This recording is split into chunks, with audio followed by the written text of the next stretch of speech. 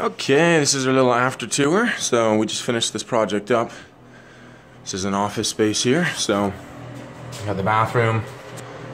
So two coats of ceiling, and we uh, repainted the uh, those doors there. It's all the walls. the doors nice and fresh now. Two coats on the doors and the trim. This looks so much better than before. All the way through here. Got a couple rooms, nice and basic. So everything got two coats. This nice gray. So we got the uh, the heater. Looks real nice and fresh now. There we are. So another project finished up. Looking great.